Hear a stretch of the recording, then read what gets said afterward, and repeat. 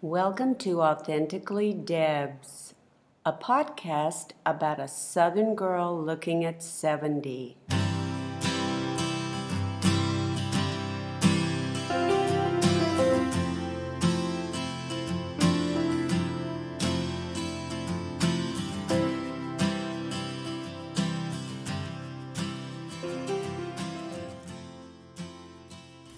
Okay, so we are moving to Little Rock from the little town in southern, in southwest Arkansas of Stamps. We're moving to the biggest city in Arkansas, Little Rock. Actually, we're moving to a suburb, Jacksonville, because that is where the Little Rock Air Force Base was.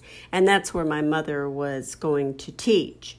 When I first got to Jacksonville, which was a huge place, not nearly as big as Little Rock, the city, but the suburb of Jacksonville had about 30 to 35,000 people and considering Stamps had less than 2,000, this was a this was a biggie for me. Um, I had to go to the junior high school. I was in eighth grade. I was so awkward looking. I wouldn't say I was ugly, but I wouldn't say I was great looking either. I had braces.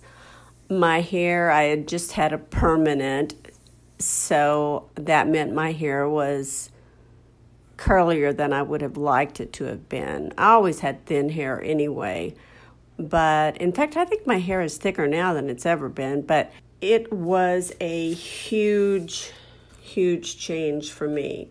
I was no longer in the same school where my mother taught, um, or even the same school district. But I, I think I was probably 13 or 14, and fortunately, I would see better days ahead.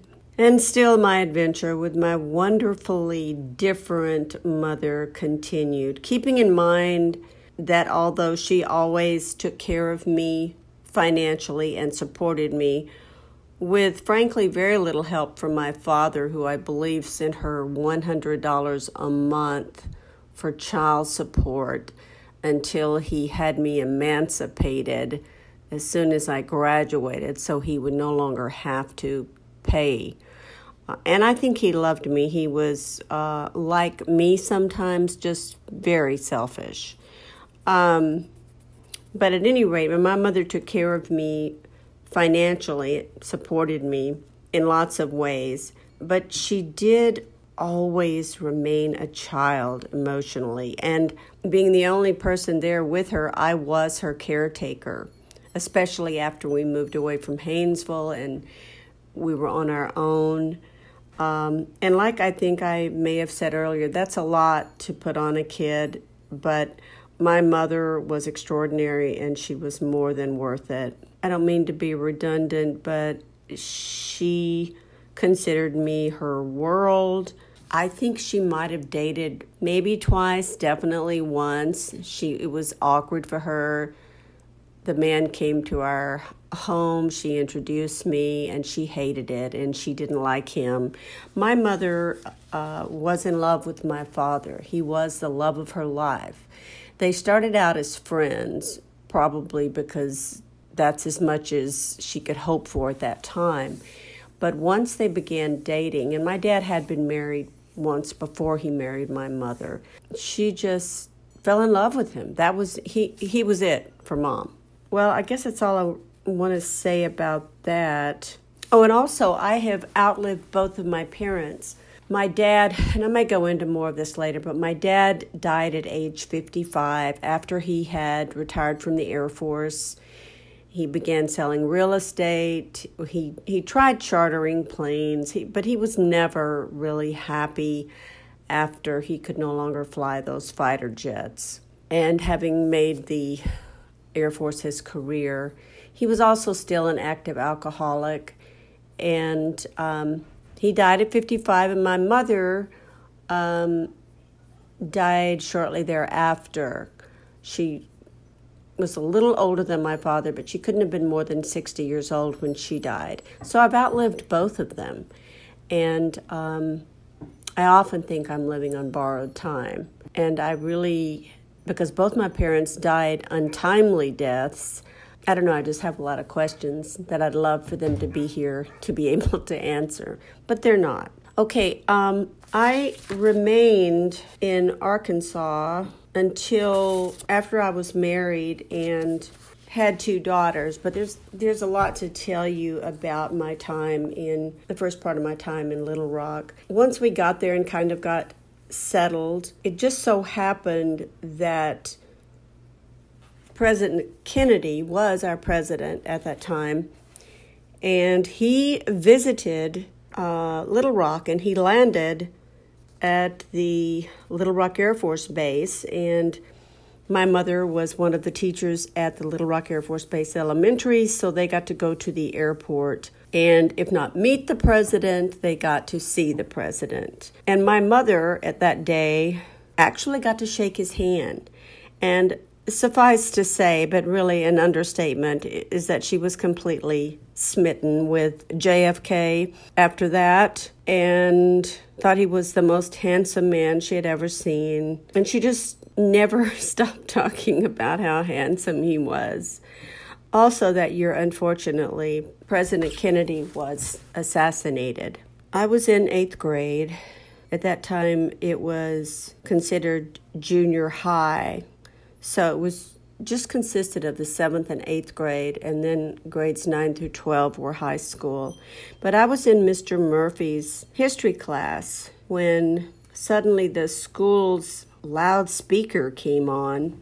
If you're old enough, you can remember those loudspeakers in each classroom. And this lady, who was a teacher, I guess she didn't have a class that period.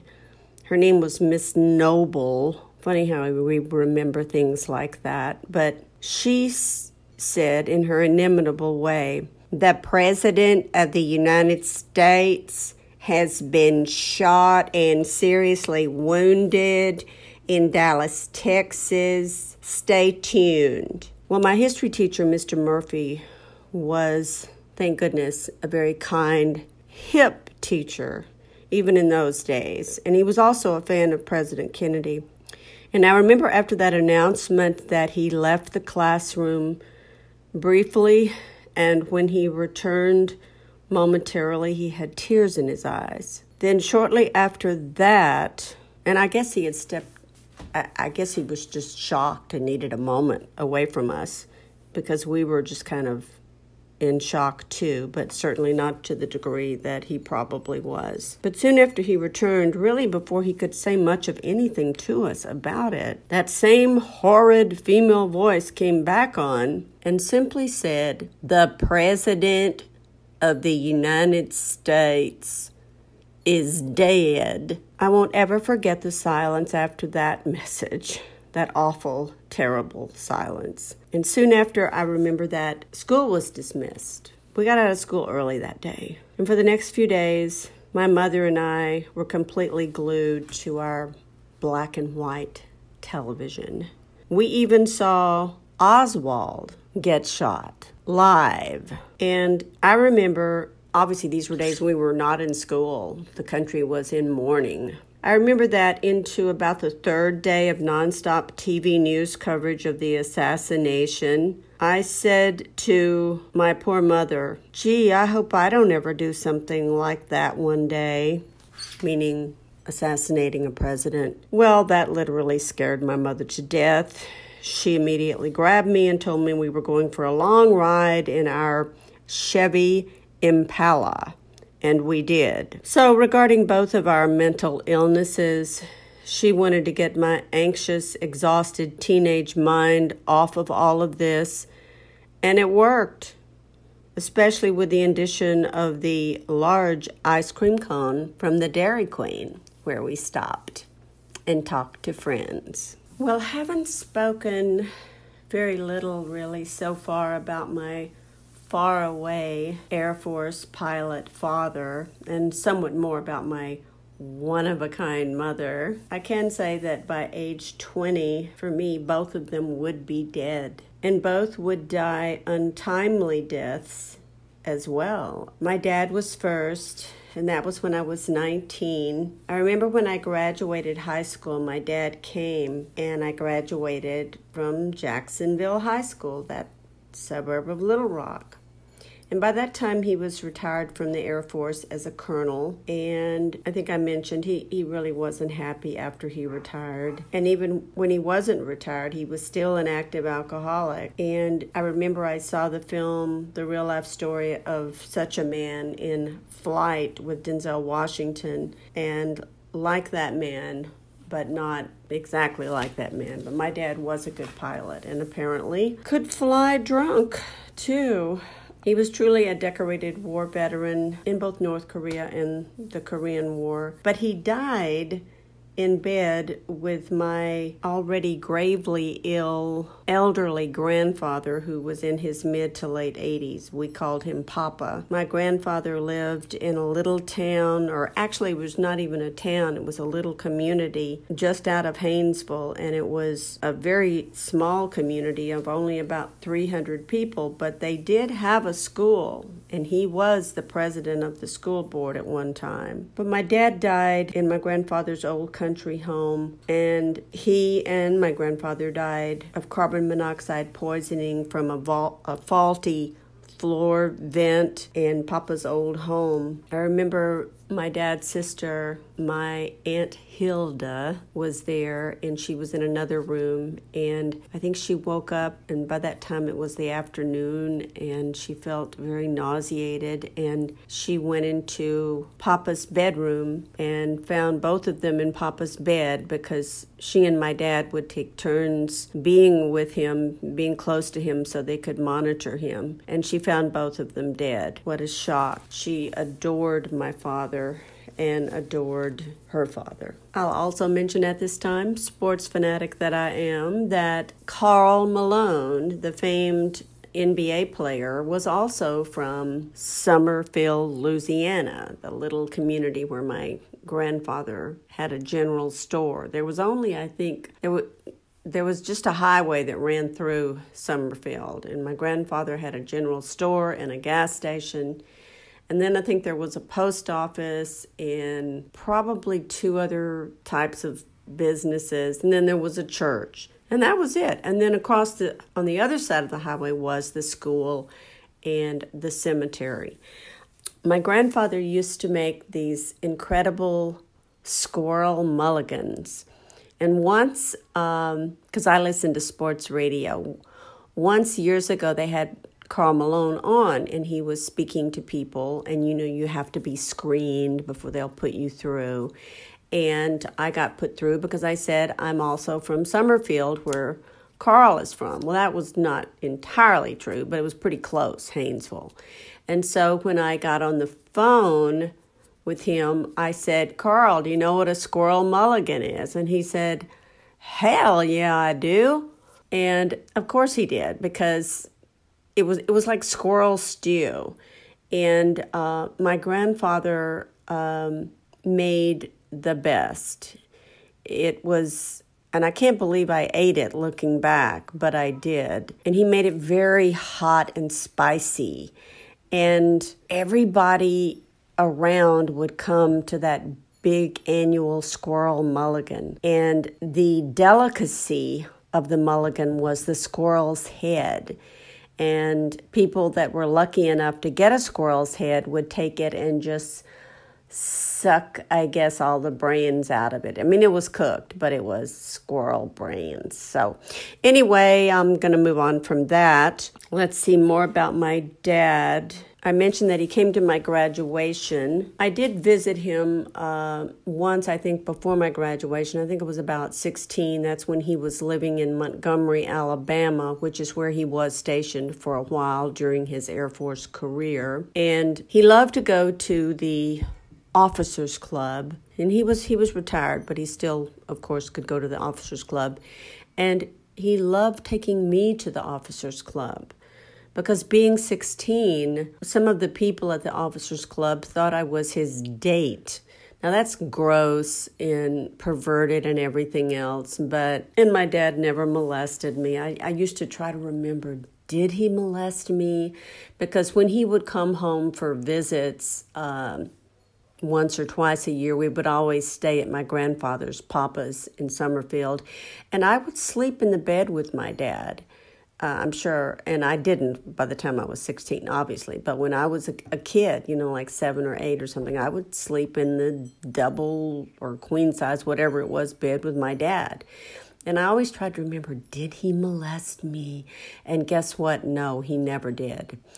Um, but I do remember that he wore boxers and a t shirt. That's what he slept in. So he came to my graduation, and then shortly after my graduation, um, I was dating my husband, um, who was a, almost the first boy I ever dated. And um, at that time, I had only dated one other boy, and I think I'd only had one date before my husband and was only with one other person sexually uh, before my marriage with my husband.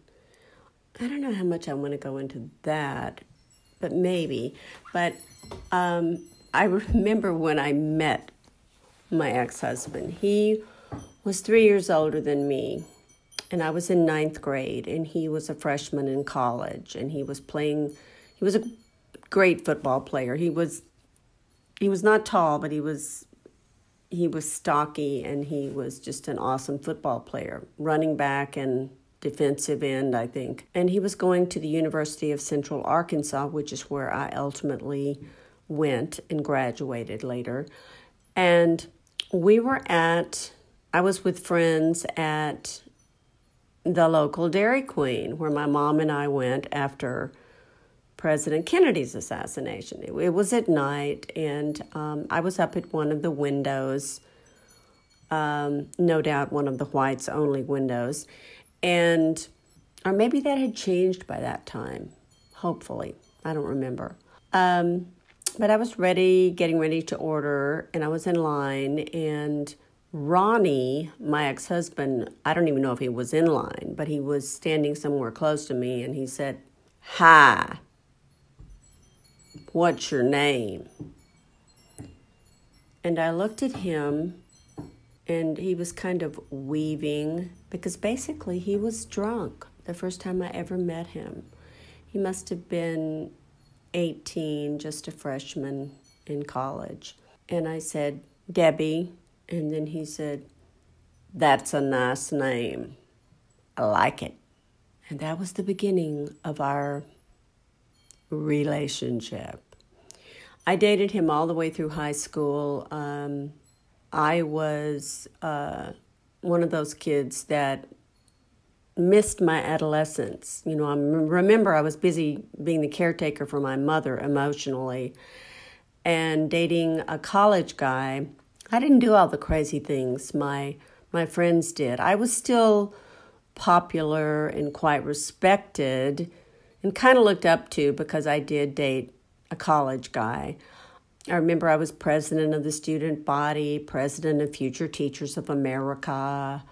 I got Key Club Sweetheart, um, just a number of things. And I was also uh, voted most promising actress. And so I'm sure it really pissed off my speech teacher that after that I refused to be in the senior play. Don't ask me why. Anyway, I just didn't have an adolescence. I waited until after my divorce years later when I had two kids, two small children, which is not advisable, by the way. But I will say at this point that we will have our adolescence. We will go through that. And it's uh, um, much more appropriate, as difficult as it still is, it's much more appropriate to go through it at adolescent age, I would say 15 through 21, than to do it when I did it, uh, which was still my mid to late 20s, but it was much more complicated. Um, so, kind of getting back to my father now, um, my husband, well, he wasn't my husband then, he's my ex husband now. My boyfriend then began flunking out of school, out of college. So he could no longer play football. And more importantly, he could be drafted into the Vietnam War. And that is exactly what happened. You have to know that down south, when boys were drafted, nobody went to Canada. Everybody went to Nam. Um, people have often told me, Oh, you lived through the 60s. How cool. I said, No, because I was behind the Iron Curtain, the South. We were really like um, a different planet from the rest of the country, especially when it came to the Vietnam War and things like that. Um, no hippies in Arkansas that I ever knew at that time. So he was drafted but before he was drafted, I decided that we should get married because all of my friends were getting married, not necessarily because their boyfriends were going to Vietnam, but I had already been in several weddings. We get married pretty young down south, or at least we did then. And I'm not saying that the South um, never changes. I am saying, however, that it will be the last place to change. So Ronnie said, okay, you know, because he definitely loved me. I, I think I was, I really think I was the love of his life. In fact, I kind of think I still am, even though he's been married twice since. So, what we did was uh, because he had to go into the service, he was going to leave for basic training uh, within 30 days. And in Arkansas, you could not get married uh, that fast. So we decided we would elope, and we would elope to Oklahoma, adjacent to Arkansas, because you could get married quickly there. So we got married. We found this, we took our, my best friend and his best friend, who were married at that time um, Debbie and Jimmy Butler. And we eloped to Poteau, Oklahoma. I remembered that they had this statue of this wild bull in front of the motel where we stayed. And so we had to uh, we had to get a marriage license, had to have blood test, all that sort of thing, as I vaguely remember. Um, and we didn't have to, but I wanted to get married in a church. And so we found a church in a neighboring town called Heavener, Heavener, Oklahoma. And we found a preacher there in that church to marry us. So then we went back to our honeymoon suite at the Poteau, Oklahoma motel with the wild bull statue in the front. And I remembered I my mother my mother knew that we were doing this. She didn't like it, but she knew it. I'm sure it just gave her a mini nervous breakdown, but she did know what was happening. My dad, on the other hand, who I think still lived in Montgomery, Alabama, did not know what was happening, and I just felt like I had to tell him. I think that was probably due to my OCD. It was one of those obsessions. I mean, I'm going to have to tell him because I just keep thinking about it. So I did call him and said, Dad, I just wanted to tell you that Ronnie and I got married. Keeping in mind that he did meet Ronnie, did not acknowledge him, shake his hand, say hello to him, was pointed out to him that Ronnie was my boyfriend, but he did not even acknowledge Ronnie's existence at my high school graduation. So his answer to me, or his reply to me when I told him that we had gotten married, was simply, Good luck, you're gonna need it. And he hung up. Well, that was not exactly what I was hoping for, but it did relieve the anxiety at least. Hey everyone, thanks for listening to Authentically Debz. And if you like my show, please subscribe, leave a review, and definitely tell a friend. Oh, and make sure to visit my website where you can keep up with my current projects, learn a little more about me and follow my latest news. And that website is www.deborajangray.com. The spelling is D E B O R A, no H, J A N G R A Y. And most importantly, blessings to everyone.